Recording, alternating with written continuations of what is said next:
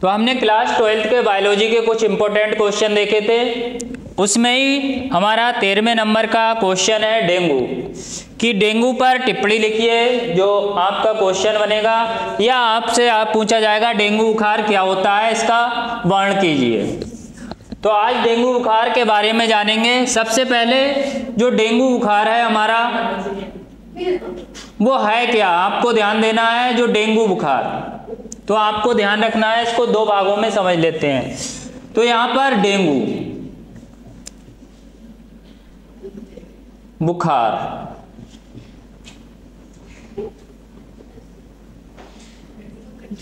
सबसे पहला पॉइंट आपको ध्यान रखना है यहाँ पर कि क्या होता है समझने की दृष्टि से। आपको ध्यान रखना है, ये बैक्टीरिया है या वायरस है, या प्रोटोजोआ के द्वारा होने वाला रोग है। तो आपको ध्यान रखना है ये विषाणु जनित रोग है। अभी लिखाएँगे भी इधर तो विषाणु जनित रोग है। पहला पॉइंट तो ये। तो पहला पॉइंट आपको ध्यान रखना है, ये विषाणु जनित रोग है। इसी का अगर दूसरे नाम की बात करें तो आपको ध्यान रखना है, इसको और नाम से जाना जाता है, और किस नाम से? तो इसे कहते हैं हड्डी तोड़ बुखार। अब हड्डी तोड़ना नहीं मतलब हड्डी तोड़ बुखार। मतलब बोन हड्डियों में आपका जो बुखार आ जाता है। तो इसका नाम होता है हड्डी तोड़ बुखार भी कहते हैं। अब कौन वाहक होता है इसका तीसरा पॉइंट आप समझेंगे? तो आपको ध्यान रखना है, इसमें वाहक के रूप में जो डेंगू डेंगू है डेंगू विषाणु। या डेंगू बुखार का जो विषाणु तो आप कहोगे वाहक के रूप में, विषाणु के रूप में। यहाँ पे लिख देते हैं वाहक अभी शॉर्ट में लिख रहे हैं, फिर उधर लिख देंगे। तो वाहक आपको ध्यान रखना है। मादा, एडीज, मच्छर होते हैं।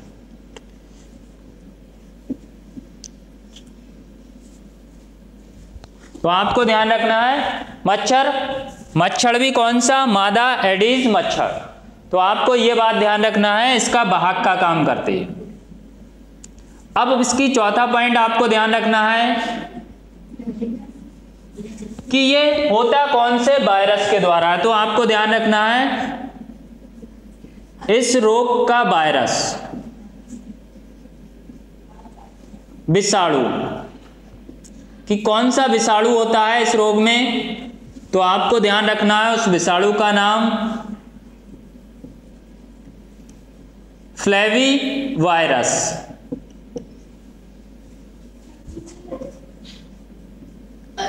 फ्लेवी वायरस होता है। इसी को आपको ध्यान रखना है अरबो वायरस भी कह देते हैं। तो अरबो वायरस या फ्लेवी वायरस और इसीलिए इसको नाम भी दिया गया है। कहीं कहीं पर कह देते हैं कि कौन सा?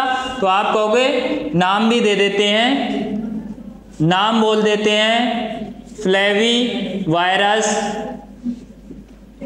या अरबो वायरस अरबो वायरस कहते हैं। तो ये आपको ध्यान रखना है कि किसे कहते हैं? तो आप कहोगे जो विषाणु होता है, डेंगू उत्पन्न करता है। इनको आप लिख भी सकते हो पॉइंट वाइज यहाँ पर जैसे आप पहला पॉइंट लिख सकते हो, ये एक विषाणु जनित रोग है। विषाणु जनित रोग होता है। अब इसका मतलब क्या है? विषाणु जनित मतलब विषाणु के द्वारा होने वाला रोग है, बैक्टीरिया के द्वारा नहीं होगा। दूसरा पॉइंट आप लिख सकते हो इसी में। इसे हड्डी तोड़ बुखार भी कहते हैं। बुखार भी कहते हैं। तीसरा पॉइंट आप इसमें लिख सकते हो। डेंगू बुखार। जो डेंगू बुखार है की बहाक मादा एडीज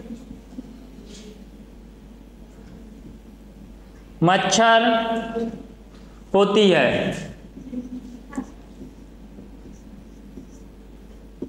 मतलब इसको फैलाने का काम कौन करेगी? मादा एंडीज मच्छर। चौथा पॉइंट आप लिख सकते हो।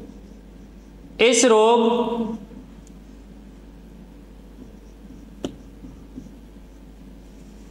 का विषाणु इस रोग का विषाणु कौन सा है? तो विषाणु वायरस के द्वारा तो उसका नाम आपको ध्यान रखना है। Flavi virus.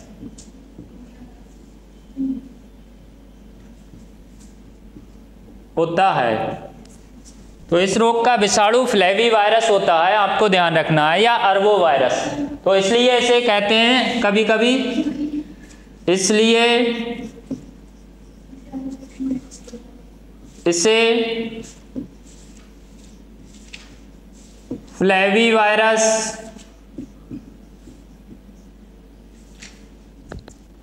भी कहते हैं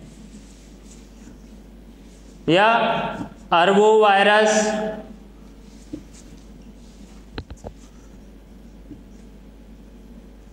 भी कहते हैं।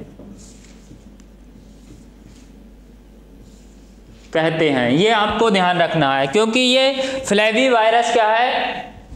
ये एक सद, कुल फैमिली होती है, उससे लिया गया है फ्लेवरी वायरस तो उसके सदस्य है, इसलिए इसका नाम भी पड़ जाता है फ्लेवरी वायरस के नाम पर। फिर पांचवा पॉइंट आपको ध्यान रखना है, इसी के अंदर जो डेंगू बुखार है, उसकी चार से पाँच स्ट्रेन पाई जाती हैं। कितनी? चार से आप कहोगे, पाँच स्ट्रेन पाई जाती हैं। पाँच स्ट्रेन आपको देखने को मिलेंगे। मतलब चार से पाँच प्रकार का आपको डेंगू बुखार मिलेगा। तो कौन कौन सा? तो आपको ध्यान रखना है, जैसे जिन्हें क्रमशः क्या क्या कहते हैं? D E N B first D E N B second D E N B third D E N B four ये डेंगू के प्रकार हैं स्ट्रेन्स तो आप लिख सकते हो यहाँ पर पांचवा पॉइंट डेंगू बुखार,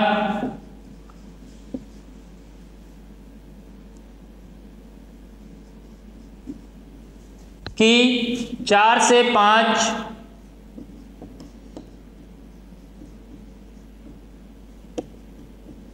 स्ट्रेंथ्स होती हैं।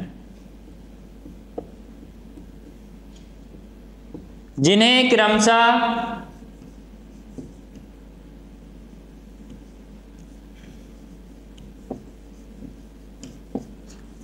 क्रमशः D E N B first D E N B second D E N V third और D E N V fourth कहते हैं।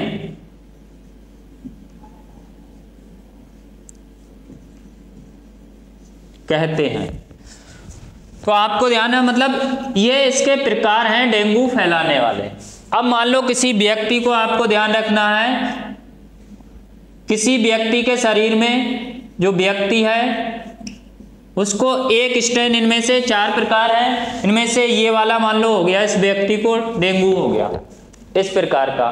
तो इस प्रकार का जब डेंगू होगा इस व्यक्ति को तो उसके शरीर के अंदर, इसके शरीर के अंदर क्या बने होंगी?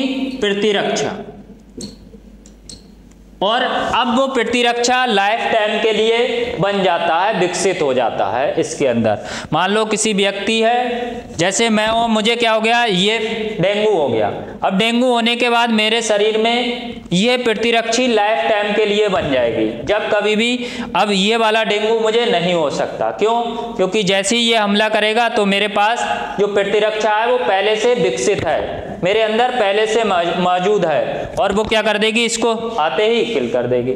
लेकिन इसकी दूसरी स्टेन है, आपको ध्यान रखना है, जो ये वाली है, ये पहले से प्रतिरक्षा विकसित नहीं है, क्योंकि ये हमारी बॉडी में प्रवेश नहीं करा। तो जो प्रवेश कर जाती है, उसके लिए आपकी इम्यून सिस्टम है, प्रतिरक्षी तंत्र है एंटीबॉडी बना लेती है। लेकिन यहाँ पर ये वाली के लिए तो बना ली इसने, क्योंकि एक बार हो गया, लेकिन ये नहीं है तो ये विकसित नहीं कर पाती है प्रतिरक्षा। इनका ये विकसित नहीं होगी, प्रतिरक्षण इनके लिए नहीं बनेगी एंटीबॉडी। तो ये आपके लिए क्या है? खतरनाक है। तो ये खतरनाक साबित होती है, आपको ध्यान रखना है। तो यहाँ पर लिख देते सिक्स पॉइंट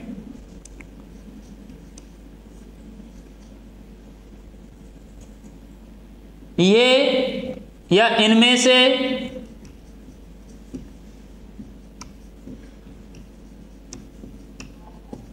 कोई भी स्ट्रेंथ व्यक्ति को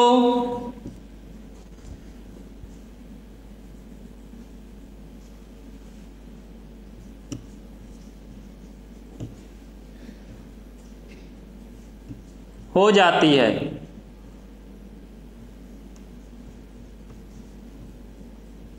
तब उसे डेंगू बुखार हो जाता है। मतलब इनमें से कोई सा भी अगर व्यक्ति के अंदर स्टेन हो गई, इसमें से इतने टाइप हैं, चार चार में से कोई भी व्यक्ति के अंदर प्रवेश कर गया तो उसे क्या हो जाएगा? डेंगू बुखार हो जाएगा।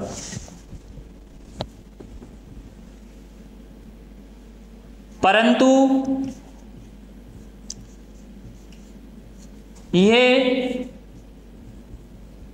जो स्ट्रेन जो स्ट्रेन व्यक्ति के शरीर में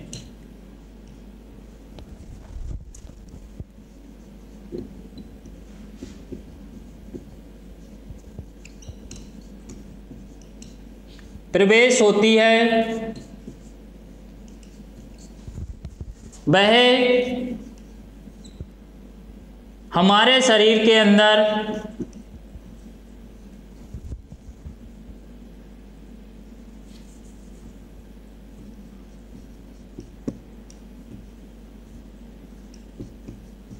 शरीर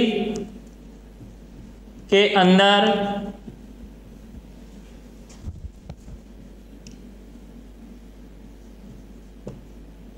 जीवन पर्यंत।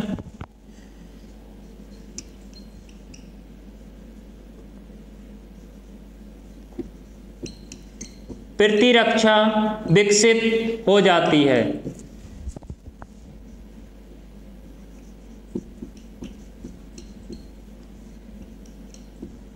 हो जाती है।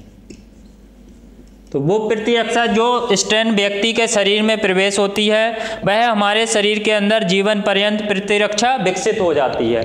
मतलब वो वाली स्टेन के लिए जो प्रतिरक्षा तंत्र है, वो हमेशा जीवन भर आपको मिलेगा। अब ये बैक्टीरिया नहीं, परंतु अदर स्टेन के आपको यहाँ पर सातवां पॉइंट आप लिख सकते हो, लेकिन दूसरे स्टेंस का खतरा बना रहता है।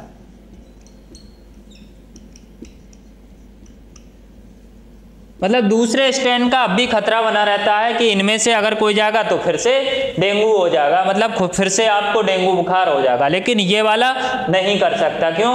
ये प्रतिरक्षी लाइफ टाइम तक के लिए आपकी बॉडी में बन गई। एक प्रकार से समझ समझ लीजिए, ये मेडिसन दवा का काम कर रही है मतलब ये आपकी बॉडी में पहले से अब मौजूद बन गई है। अब ये आएगा तो इसके लिए पहले से बैठी है प्रतिरक्षी तंत्र और वो इसको मार देगी। लेकिन ये आएगा अगर बॉडी में दूसरे स्ट्रेन आएँगे तो क्या होगा? आपकी बॉडी में फिर से डेंगू हो जाएगा। अब ये डेंगू को आपको यहाँ पर देख लेते हैं। सातवें पॉइंट के बाद जो डेंगू है, डेंगू की लाइफ साइकिल में थोड़ा सा तो ये मनुष्य को जब काटती है तो इसमें कब काटती है, आपको ध्यान रखना है। मादा, जो एडीज मच्छर है, वो कब काटती है तो आपको ध्यान रखना है, ये प्रातः। मुख्य रूप से तो आपको ध्यान रखना है मुख्य रूप से प्रातःकाल। और सायकाल के समय। यह आपको ध्यान रखना है, सायकाल और प्रातःकाल के समय ये काटेगी। और जब मनुष्य को काट लेगी, आपको ध्यान रखना है, मनुष्य को काटने के बाद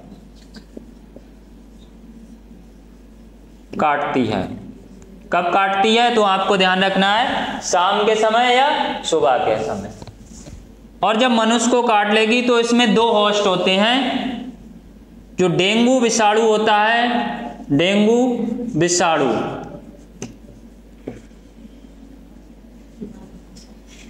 विषाणु प्राथमिक होस्ट होता है। या पोषद होता है। तो आपको ध्यान रखना है, डेंगू, विषाणु प्राथमिक पोषद होता है और यहीं पर मादा वाहक मादा वाहक ये आपको ध्यान रखना है, द्वितीयक पोस्ट होता है, सेकेंडरी होस्ट होता है। तो ये आपको ध्यान रखना है कि प्राइमरी होस्ट कौन होता है? आप कहोगे डेंगू, जो विषाणु है, डेंगू का वायरस है उसमें प्राथमिक होस्ट आपको ध्यान रखना है। वो कौन होता है? तो वो कहोगे आप मनुष्य होता है यहाँ पर। यहाँ पर आपको ध्यान रखना है, यहाँ पर मनुष्य है। और यहाँ पर मादा है, वो सेकेंडरी वाहक है। तो प्राइमरी वाहक मनुष्य हो गया पोषद हो गया प्राइमरी होस्ट और सेकेंडरी होस्ट कौन हो गई? मादा वाहक हो गई। अब जब डेंगू आपको ध्यान रखना है, ये काटता है तो काटने से लेकर के आपको ध्यान रखना है, जैसे मान लो